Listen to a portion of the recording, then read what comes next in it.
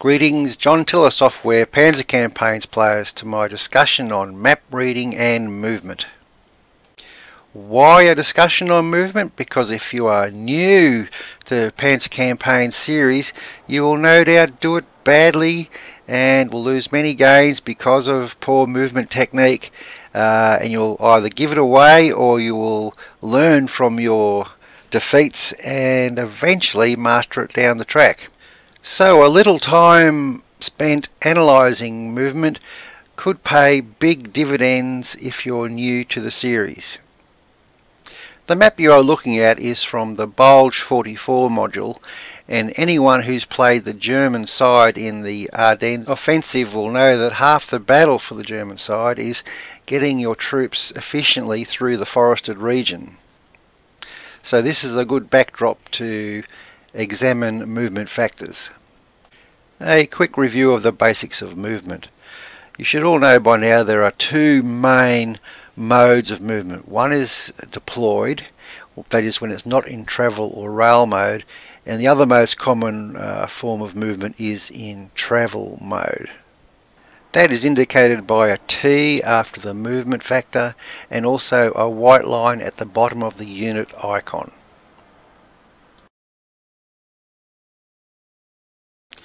It is good to know the color coding of the movement factor, particularly uh, when the movement factor turns to yellow. This indicates this will be your uh, last chance to change from travel mode to deployed mode in this turn. Now this can be very important for artillery setup and for other miscellaneous reasons we'll discuss later.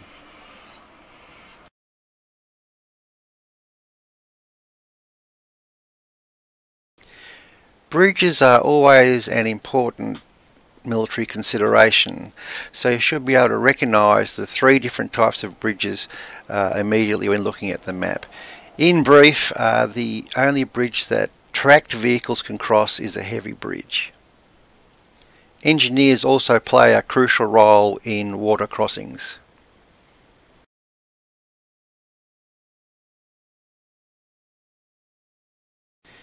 Another source of terrain information is the terrain information panel which is located by default in the upper left. Right clicking on the panel provides the hex side information and this is where the bridge detail is located. There are five types of ground conditions that is normal, soft, mud, snow and frozen.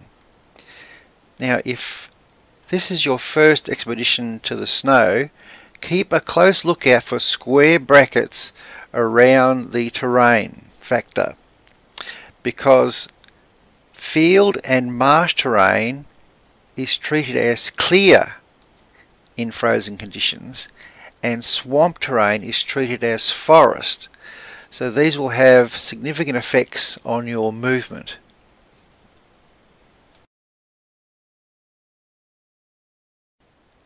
So let's have a look at the parameter value by pressing F4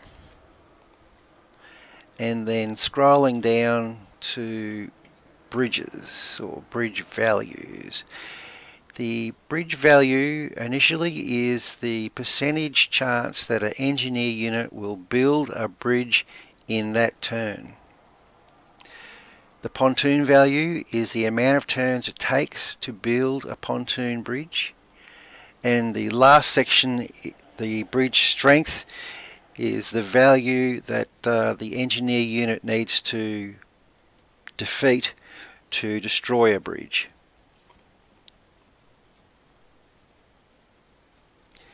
Right, we will keep scrolling past the bridge factors and we get eventually to the movement costs for the different types of units foot, ski, bicycle, horse, motorcycle, motorized, blah blah.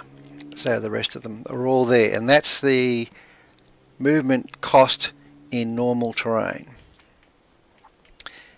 But it's important at this stage to keep going to get to the movement modifiers.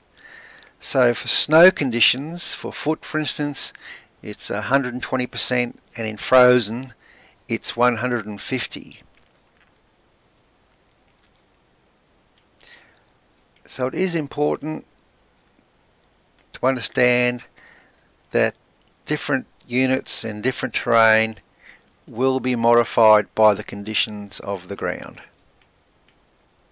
And that information can be found via the parameter data.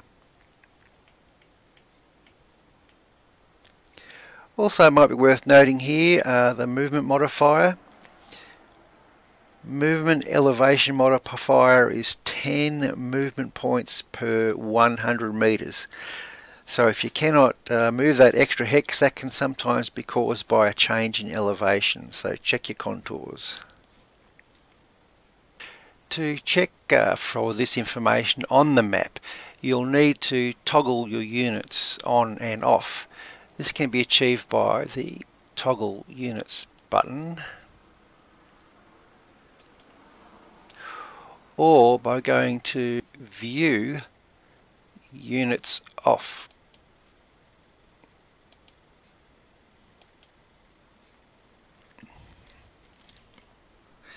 At the start of each turn it's a good idea to go to info and weather.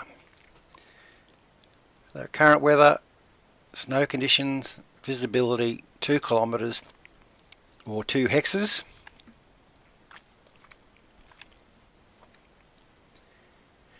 So if we have a look at the map, you see we start over here, we've got a nice heavy bridge here so we can get our track vehicles over. Then we get to this secondary or medium bridge, another medium bridge, in fact all through this sector it's like medium bridges.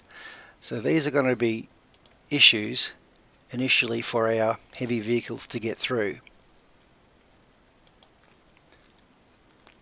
So at first glance you may think we need to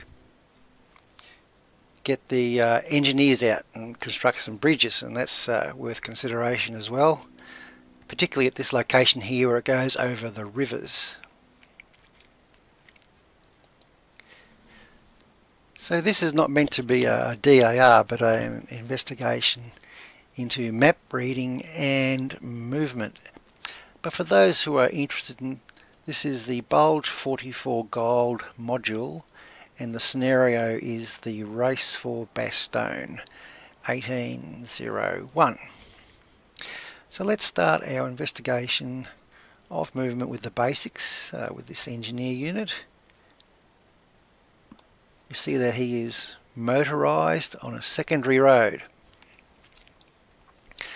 So motorized secondary road it's 200% in snow conditions. So to move one hex would expect it to cost 10 movement points.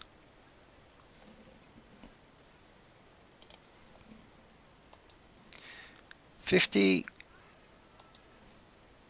forty,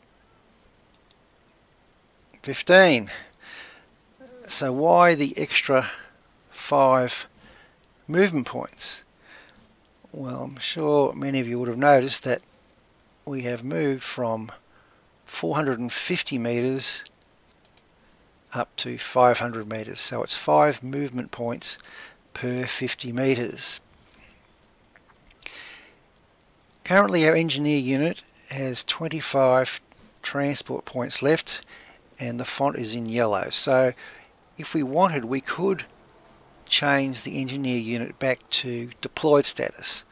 But let's uh, move down the road. So with 25 transport points left, we would expect to move two hexes or two kilometers. Five transport points left, so that works as advertised. The headquarters unit Notice that the font's in yellow, meaning that he's on foot. So he's on foot, we're on a secondary road. So what happens if we move him? Well, you may think on a secondary road it might cost us, or is it primary road, correction. You may think it might cost us uh, four or five points. So let's see what happens. So we're going from 28 to 21, so it cost us seven movement points. Well, I'm sure many of you realise when we are in deployed mode, the movement is as if the road wasn't there. So in fact we were moving into a clear terrain or a clear hex and clear is at 7 movement points. So to prove the concept on 21 we move one more hex to a clear hex and it costs us 7.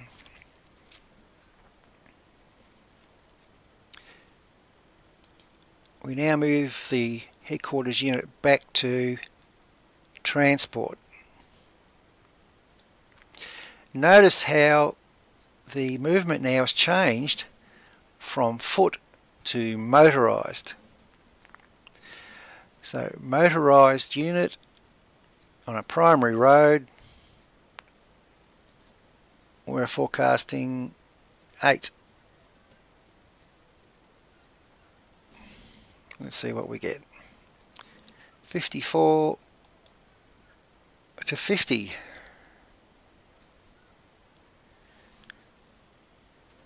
right so when we run transport mode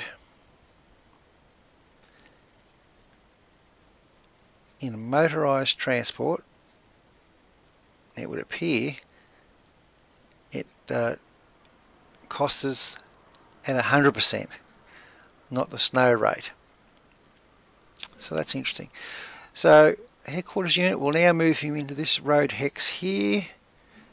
It's the same height 450 to 450 so how much do you think it'll cost us to move? We're at 50 and we go to 40. Of course, because we've moved on a secondary to a secondary hex, so that costs us 10. That's a little confusing, isn't it?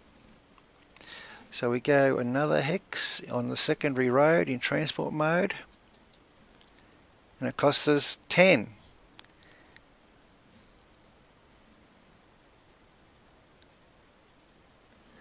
Right, so the next hex is a village hex. Now a village for motorised costs 60, so that is very expensive. Our headquarters unit only has 30 left.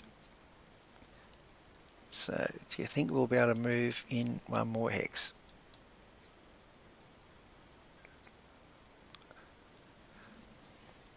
Right, yeah, so because the road was there,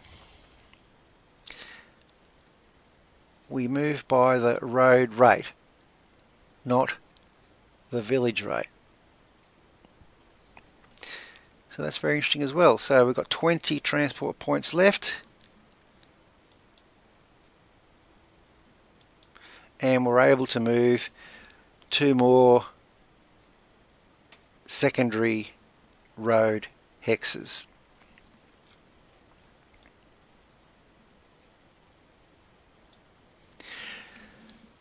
So, so far quite interesting. So let's look at this chap here. Now I don't have the uh, tracked detail, but this guy's on foot. So you'd expect there to be not really too many problems. Except for crossing bridges you need to be in transport mode. So now we've got 66 transport points. So we're moving on a secondary road once again. This guy's a hard half track, not motorised, it has its own category. So it costs us at least one point to move across the bridge. So let's have a look. 66 points on this side of the bridge to move to the other side in a half hard half track. It costs us 66 transport points. So why is it so? So if we go F4,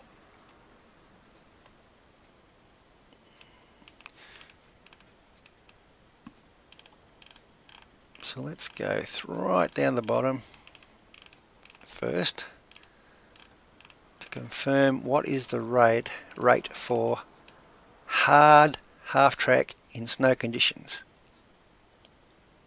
130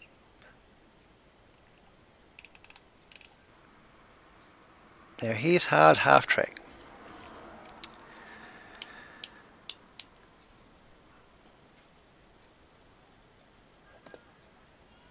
so we're on a secondary road. Five movement points. We're crossing a medium bridge, light bridge, medium bridge, it only costs you one point.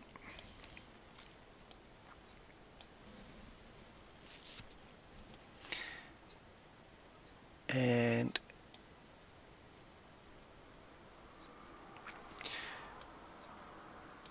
now a forest costs us 45 movement points.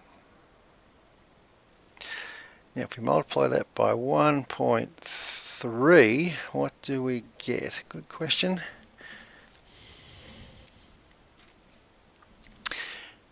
A forest hex at 130% should cost 58.5 movement points.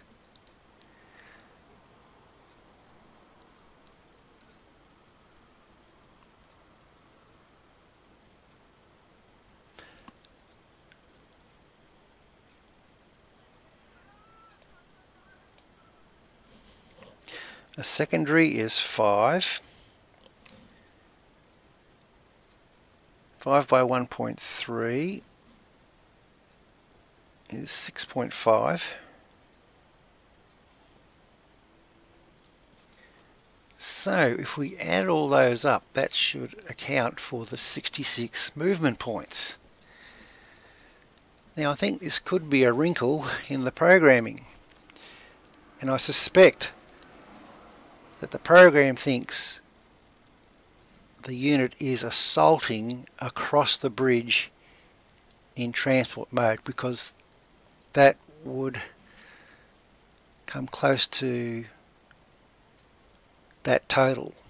But I don't know. Obviously it needs a bit more investigation because it seems to me there's a couple of issues there. One is that on the secondary road it shouldn't be costing 66 transport points. And secondly, this is a hard half track, which I would think would be under the category of an armoured vehicle. And as such, can an armoured vehicle cross that medium bridge? Now perhaps the situation might be that armoured personnel carriers can cross these bridges. And that's a decision that's been made by the developers. But I think we've found a bit of a wrinkle here in the code. Right, so moving along, let's have a look at this engineer unit. He's in transport mode. He's a hard half track. He's also a hard target.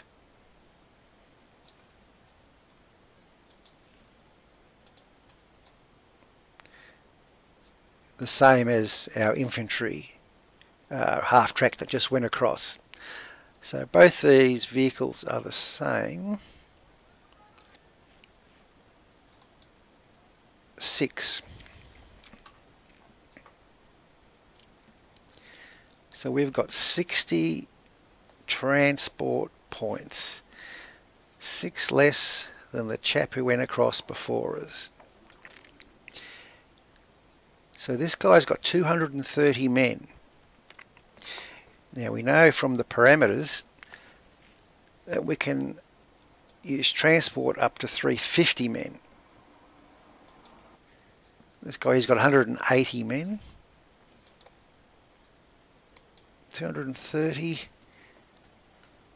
that takes us to 310 410 doesn't it so we would be over that transport limit but I suspect we won't be able to move across this bridge because it thinks we're assaulting as we've previously discussed right so let's uh, look at some tracked vehicles. Ah, here we go. We have a uh, Panther unit. A hard target tracked. So these guys definitely cannot go over medium bridges. So we can move him to here uh, on a secondary road in transport mode we're expecting about 6 so let's see how we go from 85 to 79 beautiful so we're going to cross a bridge. So it'll be one point for the bridge and one point and the uh, six points. So it should cost us seven. 73 so it only cost us 6 so that's interesting as well. So at this stage we know that if we go one more hex even if we get to this medium bridge we shouldn't be able to cross it so we're in this location here and at this stage sometimes as a player you sort of get a bit tunnel visioned well maybe I should say, myself as a player, I get tunnel vision and think that I have to cross this bridge. Bring up engineers and do all sorts of silliness and build a bridge and go through the agony of all that. But of course if we pull the right stick we can see there's a clear hex along the railway line to our right hand side. And we have just crossed the river and these features along here are streams. And as we know from streams they do cost us a bit to cross as in about 23 points but nonetheless we can cross them. So let's have a look select our unit and there we go we can actually cross get to our stream. We're up to 59 transport points. Now our problem here is we have to cross the stream into a forest hex. Now the forest hex costs us 46 by itself and the stream then is 23.4 so we just even at 59 we don't have enough. Uh, can we move into this one here say? So there we go we can move into that forest hex. So on the next turn we can move across this stream into that next section with our tracked unit. So just watch for that. Sometimes you can get tunnel vision and you miss the obvious opportunity. So let's grab this chap here. He's got 72 movement points. a Stug G 3G uh, back here we've got the two two vehicles as well so let's move those across as an exercise and we'll see what happens obviously tracked hard target we move onto the secondary road in transport mode wow that costs us was it 72 to 26?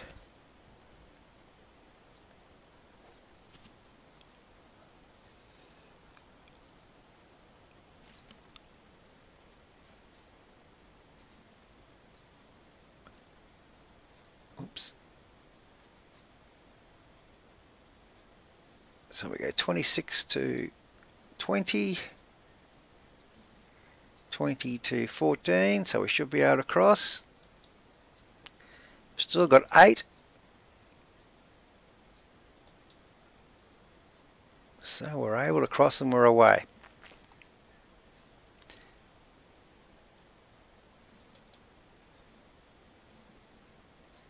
So we have the Panther unit and uh, Jagd Panzer 4. So at this stage we could go ballistic with these guys and run them to the road here and see if we can get them across. But being patient players and knowing our movement values and the value of map reading we toggle the units off and notice that the hex next to us is a clear hex. So to move into a clear hex will cost us 7 as opposed to moving into a forest hex which will cost us 46.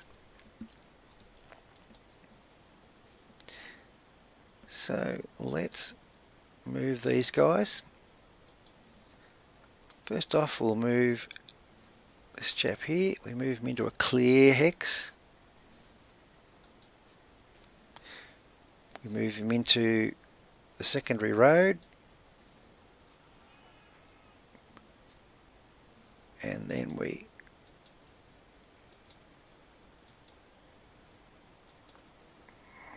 And there we go. So we get him all the way up to this stream. Now this chap here, once again, tracked, hard target. So let's say we got a bit uh, impatient, we, uh, we want action, all that sort of stuff. If we move to our forest hex, move to the road,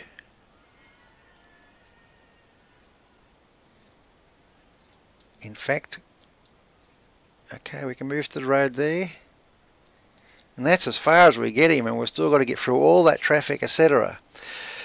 So just by noticing the fact that there was a clear hex next door and it saved us all those movement points is the difference from being up here as opposed to being here against this stream and ready to cross over to this next section in the next move. So a little bit of elementary uh, map reading and knowing your transport values. Now I was going to talk about a few other things but time is sort of getting away from us a little bit. Uh, but I'll do one more. I mentioned in my previous videos about using uh, your recon units and how they're uh, a very valuable tool and they can bump along uh, formations and find out where all the enemy units are. Now sometimes in my excitement I uh, move a little bit too quickly but so I'll show you the correct technique right here. So I've put him in transport mode. So this way we can have more moves, we get more information at the cost of perhaps being blasted. So we'll see how we travel.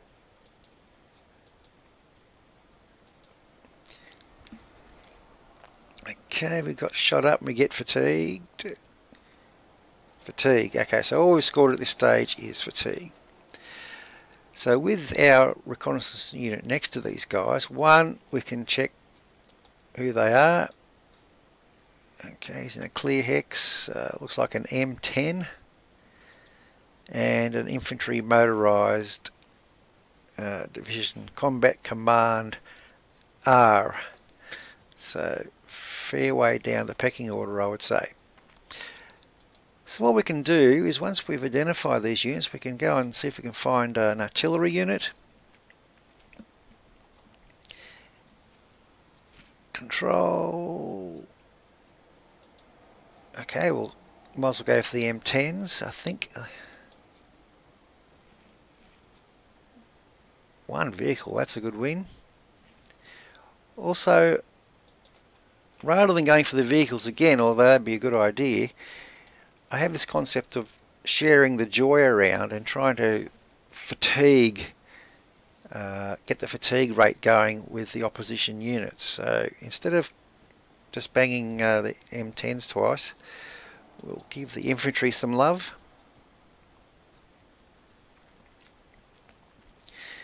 Okay, we have another infantry unit, uh, another artillery unit here. And we'll give this guy here a go.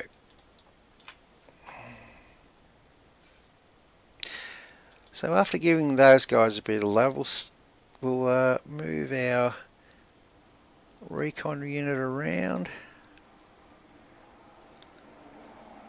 You always have the risk that you won't find any other units on your uh, subsequent tour.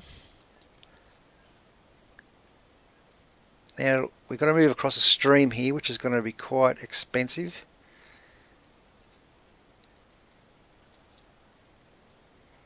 Right, so I've identified this unit here.